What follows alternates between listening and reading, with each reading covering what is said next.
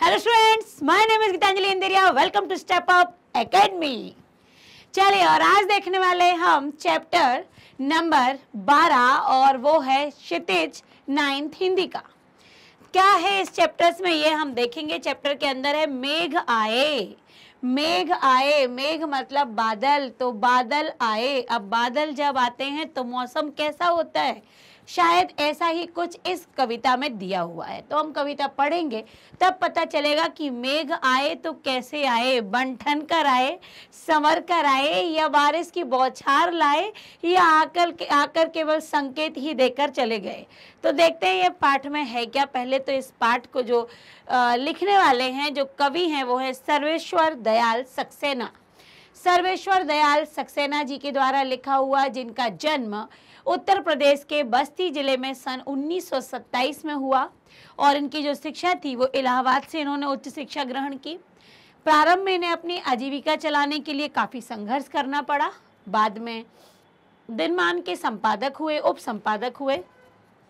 चर्चित बाल पत्रिका पराग के संपादक बने और 1983 में इनका आकस्मिक निधन हो गया। अचानक ही इनकी मृत्यु हो गई। तो ये इनका परिचय था। आगे इनके परिचय में ही है कि काठ की घंटियाँ, बाँस का पुल, एक सूनी नाप, गर्म हवाएँ, कुआनो नदी, जंगल का दर्द, खूटियों पर टंगे लोग और उनके प्रमुख कविता संग्रह हैं ये। नई कविता के प्रमुख कवि सर्वेश्वर दयाल सक्सेना ने उपन्यास भी लिखे हैं तो नाटक भी लिखे हैं तो कहानी भी लिखी है, निबंध भी लिखे हैं। बड़े ही प्रचुर मात्रा में इनका लेखन है, इनका बाल साहित्य भी मिलता है। दिनमान में प्रकाशित चर्चे और चरखे स्तंभ के लिए सर्वेश्वर दयाल जी चर्चित रहे हैं। उन्हें साहित्य अकादमी पुरस्कार से भी सम्मानित किया गया है। सर्वेश्वर के काव्य में ग्रामीणता की झलक देखने को मिलती है और साथ ही मध्यम वर्गीय जीवन का बोध भी होता है। यह बोध उनके कथ्य में ही नहीं, उनकी भाषा में भी साफ़ और स्पष्ट दिखाई देता है। सर्वेश्वर की भाषा सहज और बड़ी ही लोक की महक लिए हुए होती है। अब कविता का सार पढ़ लेते हैं। अगर सार पता चल जाए तो कविता पढ़ने में शायद मज़ा आ जाता है। तो सार देख लेते हैं कि आखिर मेघ आए ये क्यों बोला गया है। मेघ आए कविता में कवि सर्वेश्वर दयाल सक्सेना जी ने प्रकृति का अद्भुत ही वर्णन किया है मानवीकरण के माध्यम से। कवि ने कविता को चित्त चित्त आकर्षक बना दिया है। चित्त आकर्षक का मतलब होता है मन को उसकी तरफ़ आकर्षित हो रहा है मन। कवि ने बादलों को मेहमान के रूप में बताया है। ठीक है, वही है बड़े आए बंठर के, सवर के। मेहमान के रूप में बताया, पूरे साल भर के इंतज़ार है, ये जा लिखा हुआ, इंतज़ार के बाद जब बादल आए तो गाँव के लोग बादलों का स्वागत उसी प्रकार करते हैं, जैसे गाँव में कोई मेहमान आ जाता है, या गाँव का कोई दामाद आ जाता है तो देखिए बड़े बड़े शहरों में होता क्या है? आपके घर में कोई भी मेहमान आ रहे हैं, जा रहे हैं, नहीं आ रहे हैं, आप अकेले हो, भीड़ में हो, किसी को कोई मतलब नहीं। लेकिन गाँव में शायद कहीं आज भी यह परंपरा है कि गाँव में यदि एक घर का दामाद आता है तो पूरा गाँव से अपना दामाद समझता है और वैसे ही स्वागत होता है। वो किसी भी गली से निकल जाए और पता लगे कि ये उनके घर के दामाद हैं तो वो दामाद जी कहकर ही उनके अपने घर में भी वो पड़ोसी व्यक्ति बुलाएगा, बिठाएगा पानी, चाय पूछेगा, खाने की भी पूछेगा और बड़े अच्छे से उनका स्वागत करेगा। तो ये परंपरा गाँव में बहुत अच्छी है कि एक एक घर की बेटी के ही हस्बैंड क्यों ना आए हों, वो पूरे जो गाँव के दामाद कहलाते हैं। तो स्वागत करते। किसी ने स्वागत किया तो किसी ने ओलाहना भी दी मतलब किसी ने बुराई भी की, कोई कमेंट भी पास किया। बादलों के स्वागत में सारी प्रकृति उपस्थित हो जाती है। कैसे? बादल मेहमान है, अर्थात दामाद की तरह बड़े बन ठन के सवर के आए क्योंकि दामाद अपनी ससुराल जा रहा है। हवा भी चंचल बालिका की तरह पूरा मानवीकरण अलंकार का प्रयोग हुआ है, यहाँ प्रकृति को मनुष्य के जैसा माना है। नाच गाकर उनका स्वागत कर रही है। कौन? जो हवा है। मेघ को देखने के लिए हर आदमी उतावला हो रहा है। बादल आ गए, बादल आ गए, तेज गर्मी से हम बचेंगे। इसलिए सबने अपने अपने घरों के दरवाजे, खिड़कियाँ खोल दी हैं और बादलों को देख रहे हैं। आंधी चली और धूल इधर उधर भागने लगी। जब आंधी चलती है तो धूल भी उड़ती है। धूल का भागना ऐसा लग रहा है, मानो कोई गाँव की लड़की अपना घाघरा उठाकर घर की तरफ़ बड़ी जल्दबाजी में भागे जा रही है। गाँव की नदी भी एक प्रेमिका की तरह अपने मेहमान मेघों को देखकर ठिटक गई है। थोड़ी सी शर्म आ गई है उसको। उन्हें तिरछी नज़र से देखने लगी है। गाँव की सुंदरियों ने अपना घूंघट उठाकर बने, ठने, सजे, सवरे मेहमानों के समान बादलों को देखना शुरू कर दिया है। बादल रूपी मेहमान के आने पर पीपल के गाँव, पीपल ने गाँव के बड़े बूढ़ों की पदवी ले ली है। बड़े बूढ़ों की तरह पीपल का वृक्ष झुककर इन बादलों का स्वागत कर रहे तो आपने देखा कि प्रकृति का जितना भी है हवा है नदी है ठीक है? और अभी लताएँ भी आएँगी बीच में। फिर इसके बाद आ, पीपल है। ये सब कुछ क्या बता दिया गया? मनुष्य के जैसा वर्णन किया अर्थात पूरा पाठ मानविक अलंकार से भरा हुआ है। साल भर की गर्मी से सहकर मुरझाई हुई लताएँ ऐसे दरवाजे के पीछे चिपक कर रह गई हैं जैसे कोई नायिका दरवाजे के पीछे खड़े होकर अपने आने वाले को उलाहना दे रही हो कि पूरा साल बिताकर अब आए हो। मतलब एक नायिका अपने नायक को जो आए हुए हैं, उनके उनको बड़ी दूर से छुप कर देख रही है कि बड़े दिन बाद आए हैं आप। अभी तक याद नहीं आई क्या मेरी? मैं मरी जा, मरी हूँ या जी हूँ, ऐसी मतलब बातें बता रहे कि शायद इस तरीके से जैसे कोई लेडीज़, कोई नायिका अपने पति के आने पर, नायक के आने पर इस तरह उलाहना देती कि अब तुम्हें मेरी याद आई है, मिलने नहीं आ पाए मुझसे। ऐसे लता कह रही है कि मैं मुरझाने लगी हूँ और बादल अब आए हो तुम। तालाब भी लबालब पानी से भरा हुआ है, ऐसा लग रहा है मानो बादलों के स्वागत के लिए परांत में पानी बिछा लिया हो। चारों ओर बादल गरजने लग गए हैं, बिजली चमकने लगी है, झरझर पानी बरसने लगा है। कोई कहने लगा है कि मुझे क्षमा कर देना, कर दो, वर्षा होगी कि नहीं, मेरा भ्रम टूट गया। अब मुझे विश्वास हो गया है कि वर्षा अवश्य ही होगी। मेघ रूपी मेहमान को लता रूपी अपनी प्रिया से मिलते देखकर सारी प्रकृति खुश हो गई। सभी खुश हुए, वर्षा रूपी खुशी के आँसू बहने लगे। ठीक। पत्रिका, अब देखिए इनका प्रमुख कार्य जो रहे अभी ये बीच में आ गया इसको अगर हम कहें तो ये लेखक का था, कवि का था, कि उप संपादक रहे, कविता संग्रह, ये सब हम बता चुके थे, पुरस्कार उनको साहित्य अकादमी मिला, ठीक है। अब यहाँ से हमारी कविता प्रारंभ होती है, कि मेघ आए बड़े बन ठन के संवर के, आगे आगे नाचती गाती बयार चली, बयार का मतलब होता है हवा। बयार का अर्थ होता है हवा। ये क्षेत्रीय भाषा का शब्द है, बयार चलना। तो बादल जो हैं, वो बन ठन कर सवर कर आए हैं और हवा बयार क्या चल रही है? नाचती गाती हुई चल रही क्योंकि बादल गरजते हैं तो हवाएँ तेज होती हैं। दरवाजे खिड़कियाँ खुलने लगी हैं। गली गली में सारे लोग दरवाजे खिड़की खोलकर मौसम का मौसम का हाल देख रहे हैं और बादलों का स्वागत भी कर रहे हैं। पाहुन जो आए हो गाँव में। पाहुन मतलब मेहमान। जैसे कोई मेहमान शहर से गाँव आया हो, मेघ आए बड़े बनठन के सवर के। वैसे ही बनठन के बड़े आवाज़ करते हुए मेघ भी चले आ रहे हैं। इतनी पंक्तियाँ आपको क्लियर हुई, आगे देखिए। पेड़ झुक झांकने लगे, गर्दन उचकाए मतलब पेड़ झुकते भी हैं और एकदम उछलते भी हैं। तो ऐसा लग रहा है कि कूद कूद कर वो देख रहे हैं मेहमान को। आंधी चली धूल भागी घाघरा उठाए आधी चलती है तो ऐसा लगता है कि अपने घाघरे को, अपने लहंगे को उठाकर कोई बालिका भागी जा रही हो, वैसे ही धूल भागी जा रही है। बाकी चितवन उठा, नदी ठिटकी घूंघट सर के मतलब नदी भी बादलों घूम मेघ के आने पर नदी भी थोड़ी शर्मा गई है। मेघ आए बड़े बंठन के सवर के, ऐसे मेघ बड़े बंठन के सवर कर चले आए। बूढ़े पीपल ने आगे झुक कर आगे बढ़कर जुहार की, जैसे कि दामाद के आने पर, मेहमान के आने पर घर का कोई बुज़ुर्ग आगे आकर उनको प्रणाम और नमस्कार करता है। वैसे ही ये पुराना गाँव का पीपल का वृक्ष भी बादलों के आने पर, बादलों के आने से उनको, उनकी तरफ़ झुककर उनका अभिवादन कर रहा है। बरस बाद सुधिलीनी बोली, अकुलाई लता, ओट हो केवार की। केवार मतलब होता है दरवाज़ा। किवार मतलब होता है दरवाज़ा ओट मतलब होता है उसके पीछे आड़ में।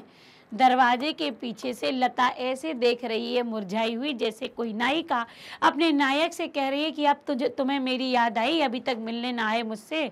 हर्षाया ताल लाया, पानी परात भर के, तालाब ऐसा मुस्कुरा रहा है, प्रसन्न हो रहा है, जैसे मेहमान के आने पर। पहले रिवाज था कि परात में पानी रखते थे, मेहमान के पैर धुलाते थे, ऐसे ही बताया पुराना रिवाज कि ऐसा लग रहा है कि तालाब रूपी परात में पानी भरा हुआ है, मेघों के स्वागत के लिए। और मेघ आए बड़े बंठन के समर के। क्षितिज अटारी, गहराई, दामिनी दमकी क्षितिज अटारी मतलब जहाँ पर क्षितिज दिखाई देता है दूर का कोना तो उसको बताया गया है कि ऊँची अटारी मतलब ऊपर की तरफ़ दामिनी बिजली चमक रही है। क्षमा करो, गांठ खुल गई, अब भ्रम की वो कह रहा है, अब लग रहा है जो अभी तक हमें ये डर था कि, भ्रम था कि पानी गिरेगा, नहीं गिरेगा, लेकिन अब बिजली के चमकने से पता लग गया है कि पानी तो अवश्य ही गिरेगा। मेघ आए बड़े बंठन के सवर के। अब देखिए, प्रश्न अभ्यास है, मैंने अर्थ आपको समझाई दिया है। बादलों के आने पर प्रकृति में जिन गतिशील क्रियाओं को कवि ने चित्रित किया, उन्हें लिखिए। जब बादल आते हैं तो प्रकृति में क्या होता है? हवा चलने लगती है, धूल उड़ने लगती है, जो पेड़ पौधे हैं, वो झुकने लगते हैं। नदी में भी हलचल पैदा हो जाती है। ये देखिए क्या चलने लगती है? हवा चलने लगती है। फिर सभी लोग अपने घर खिड़की दरवाजे खोल लेते हैं। और जो पीपल के वृक्ष या पुराने पेपर, पेड़ हैं, वो भी क्या होते हैं? उछलते कूदते हैं मतलब हवा से ऊपर की तरफ़ जाते हैं, झुक कर नीचे आते हैं। आंधी का आना और धूल का उड़ाना होता है। नदी रूपी स्त्री की बात की गई है तो यहाँ आप उसके प्रतिमानों को भी लिख सकते हैं, सीधा उसका नाम भी लिख सकते क्या क्या हुआ? अगला प्रश्न है अब देखिए, इसके आगे वो स्वागत में तालाब आ गए हैं। तालाब ने बिजली चमकने लगी है। किसके प्रतीक हैं? धूल यहाँ पर किसका प्रतीक बताया है? बालिका का। देखिए, धूल स्त्री का, पेड़ बुज़ुर्गों का, नदी एक बालिका जो ठटक कर स्त्री, लता नायिका का और ताल परांत का, सेवक का, वही। ठीक है पेड़ नगरवासी हैं जो बुज़ुर्ग कहा गया है जैसे। लता ने बादल रूपी मेहमान को किस तरह देखा और क्यों? देखिए, ऐसे देखा होगा, बादल रूपी मेहमान को झाँक कर देखा होगा, क्योंकि लताएँ भी झुक झुक कर देख रही हैं, चूँकि अब लता गर्मी के मौसम से क्या हो चुकी है, मुरझा चुकी है तो उसे भी बादलों का इंतज़ार है। तो उसे एक नायिका का रूप बताया गया है कि वह आने पर कैसे देख रही है, जैसे कोई नायक को नायिका छुपकर ओढ़ में देखती है कि आप अभी तक मेरी सुध भूल चुके थे, आए नहीं, मैं तो मुरझाने लगी हूँ। क्षमा करो, गांठ खुल गई है भरम की। अब जहाँ पर लोगों के अंदर ये आशंकाएँ थी कि हाँ ठीक है, बादल ही तो आए कौन सा बारिश होने वाली है? लेकिन जब तेज बिजली चमकने लगी तो लोगों का भ्रम टूट गया कि अब बारिश ज़रूर होगी। ठीक है? बाकी चितवन उठा नदी ठिटकी घूंघट सर के। इसका अर्थ ये है कि बादलों के आने से जिस प्रकार की किसी मेहमान के आने पर एक बहू एक दुल्हन गाँव की स्त्री ठिठक कर शर्मा कर रह जाती है वैसे ही बादलों के आने पर नदी में भी हल्की हलचल हुई है। वो भी आ, बादलों की तरफ़ जैसे कोई स्त्री देखती है ना मेहमान की तरफ़ वैसे नदी भी देखकर शर्मा रही है। मेघ रूपी मेहमान के आने से वातावरण क्या परिवर्तन हुआ? चारों ओर हवाएँ चलने लगी हैं बिजली चमकने लगी है। और पेड़ हैं जो कि झूम रहे हैं, लताएँ हैं, जो कि कैसी हैं? उत पानी में उथल पुथल है, लताएँ भी चह, महकने लगी हैं, बारिश होने लगी है अंत में। मेघों के लिए बंटन संवर के आने की बात क्यों कही है क्योंकि मेघ बड़े दिनों बाद आते हैं, इंतज़ार के बाद आते हैं, और जब आते हैं तो इनका रंग बदलता है। साथ ही क्या होते हैं? ये गर्जन के साथ आते हैं। और उसकी कल्पना दामाद से की गई है पाठ में। जैसे दामाद बहुत दिनों के बाद ससुराल पहुँचते हैं, बड़े बंठन के सवर के पहुँचते हैं, ठीक बादल भी बहुत दिनों के बाद बड़ी आवाज़ करते हुए सजे सवरे से प्रतीत हो रहे हैं।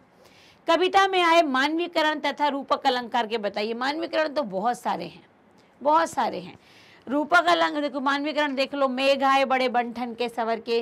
नाचती बयार चली, पेड़ झुक झांकने लगे, धूल भागी घाघरा उठाए, बाकी चितवन उठा नदी ठिटकी बूढ़े पीपल ने जोहार की बोली, अकुलाई लता हरसाया ताले लाया पानी परात भर के। ये तो हो गए सारे के सारे मानवीकरण अलंकार। कुछ छूटा हो तो ऐड कर लेना। अब इसके अलावा रूपक अलंकार क्या है? जब उसी के समान उसको मान लिया जाए, जब उपमेय में उपमान की पूर्णता कल्पना या पूर्णता मान लिया जाए क्षितिज अटारी गहराई। क्षितिज को जो अटारी है, वो मान लिया है कि क्षितिज ऐसा है कि इससे ऊपर की बालकनी जैसा हो। फिर दामनी दमकी, बिजली चमकी, ये भी सीधा मान लिया रूपक अलंकार है, ठीक है? कविता में जिन रीति रिवाजों के का मार्मिक चित्रण हुआ है कि बड़े बुज़ुर्ग मेहमान के आने पर क्या करते हैं, झुककर प्रणाम करते हैं, वो बादल को पीपल को संज्ञा दी गई है। परात में पानी भरकर लिए खड़े रहते हैं, वो तालाब के लिए बोला गया है। ठीक है? एक नाई, एक और गाँव की औरत जो कि ठिठक कर रह जाती है, वो नदी के लिए बोला गया है। और क्या है? स्त्रियाँ पर्दे करती हैं, पूरी उत्सुकता के साथ। ये सारी बातें आप लिख पाते हैं कि पीपल का झुकना, बुज़ुर्ग की बात कही गई है, स्त्रियों का शर्मा कर ठिठक जाना नदी के लिए बोला गया है। साथ ही पैरों को धुलाने के लिए जो परात में पानी रखा गया, ये भी प्राचीन परंपरा है। कविता में कवि ने आकाश में बादल और गाँव में मेहमान के आने का जो रोचक वर्णन किया है, उसे लिखिए। कवि ने बादल मेहमान जब आते हैं तो चारों ओर गाँव लोग खिड़कियों से देखने लगते हैं, गाँव की स्त्रियाँ शरमाने लगती हैं, नायिका छुप कर अपने पति को देखती है, बूढ़े बुज़ुर्ग उसका स्वागत करने लगते हैं, लोग हाथ में परात में पानी लिए खड़े होते हैं।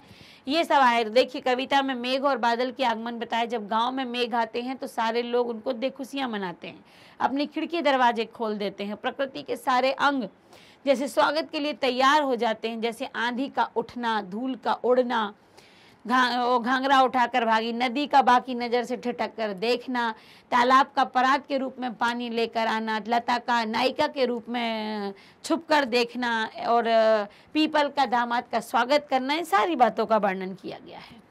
काव्य सौंदर्य लिखिए। पाहुन जो आए हो गाँव में शहर के मेघ आए बड़े बन ठन के सवर के, जैसे कोई पाहुन, कोई मेहमान, कोई दामाद। शहर से बड़े बन ठन के अपनी ससुराल की तरफ़ आता है। बड़े दिनों के बाद वैसे ही बादल भी बड़े बंठन के सवर के आवाज़ करते हुए बड़े दिनों बाद पधारे हैं। इसलिए कहा गया है कि मेघ आए बड़े बंठन के सवर के। बड़ी ग्रामीण भाषा का चित्रण है, ठीक है? तो इसकी इसमें कल्पना की गई है। अगला है रचना और अभिव्यक्ति। वर्षा के आने पर आसपास के वातावरण में परिवर्तनों को बताइए तो आप भी बताइए, जब बारिश होती है तो क्या होते हैं? नए पत्ते आ जाते हैं, फूल आ जाते हैं, हरियाली छा जाती है। चारों तरफ़ का वातावरण शीतलमय, शांतिमय हो जाता है ना?